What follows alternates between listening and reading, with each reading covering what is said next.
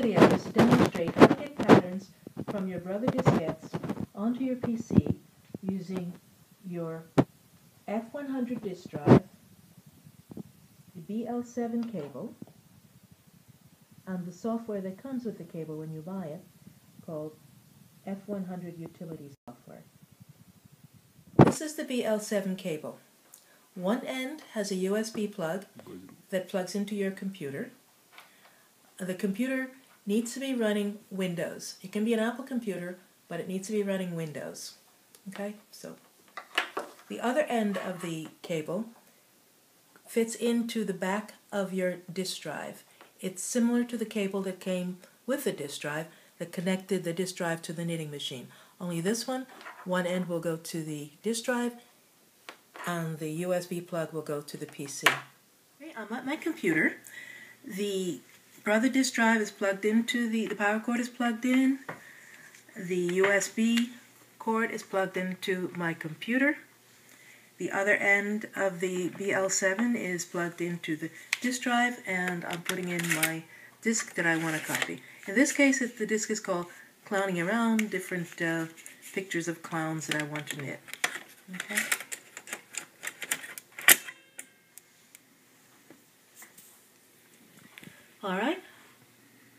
Going to start now the utility, the F100 utility.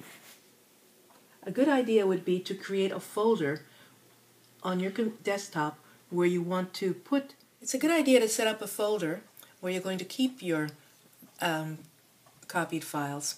I've called mine FB100 files, and in that file I have a subfolder called Clowns. I'm going to put uh, all the patterns from this particular diskette in the Clowns folder. Okay. We'll minimize that for now. Okay. Now I'm going to go ahead and start the F100 utility. It's created, when I downloaded the software, it created a shortcut, FB100 utility. I double click on that. It's going to ask you about a COM port. In this case, I'm using a USB um, plug, and it considers that on my computer to be COM3. I click OK, and it asks if you want to read, write, format, or edit. The first thing you want to do when you have a diskette in is read the diskette.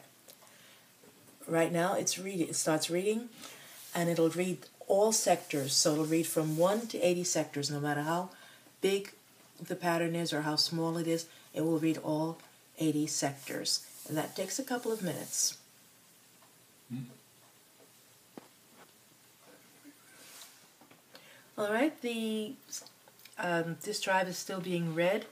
It's at sector 67 of 80. It's gone from 1 and it has to go to 80. Um, if you'll note, the BL7 has flashing lights that are uh, going as it's reading green, red, green, red. And as long as that's going on and you see the disk drive light is also on, showing it's being read, everything is fine. You know, you're on track.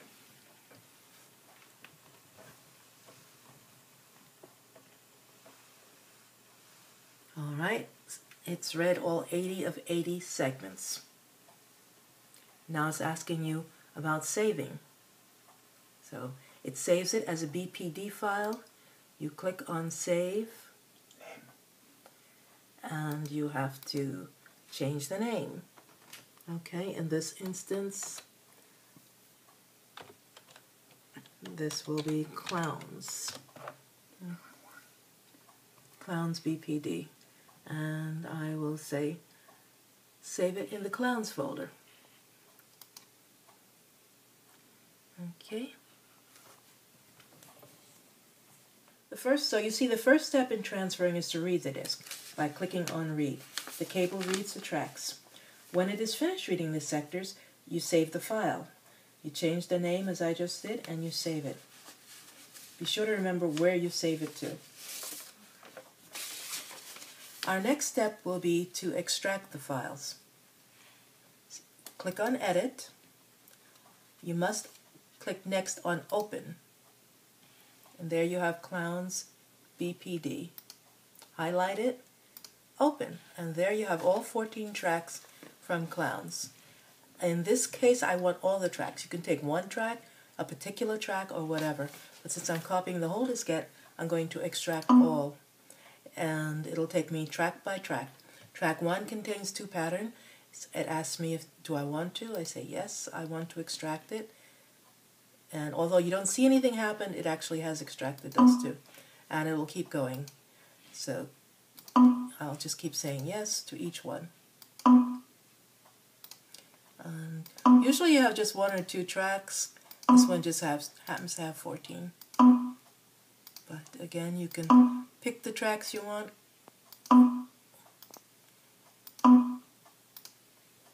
And just keep going until I get to 14.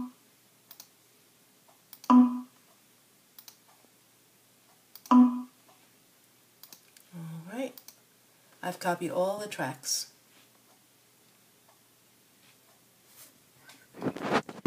Now to confirm that the patterns have all been downloaded, I'll click on FB100 Files, the fo folder I created. I'll look into the Clowns folder, and there you have it. All the files that were on that diskette have been transferred to that folder. They've all been renamed PAT, which is what DesignaKnit uses for its patterns. So you can take all of all any however many of these files you want and now use them in DesignaKnit if you happen to have DesignaKnit. Okay, they're all ready for you. You can just remove your diskette, put your next diskette in and continue copying files, or just go ahead and take this to DesignaKnit um, and into your DesignaKnit, open DesignaKnit, select the clowns pattern that you want, and um, begin knitting. That's all there is to it. Now, just if you just want to look at the patterns, here's track one, let's take a look at track one and see what's on it. Okay, track one had two files on it. Let's look at this one. You click on the one you want to see, click on show, and look at that. That would be the pattern you would be knitting with your design DesignaKnit. That was what was in track one. So this is good even if you don't have DesignaKnit and you want to see what the patterns look like that are on your diskettes. You can bring them in um, using the software and just examine each pattern. Let me look at a couple of others on that track. Okay, let's see what the second one was. That looks similar. All right, let's go back um, and look at a different track. Let's try track 9. So track 9, and this is just to edit and take a look at it. Show, and again, more clowns doing different things. So it's uh, it sounds complicated, but it's really not, and this is all you actually have to do. You have now your patterns from your Brother diskette onto your PC.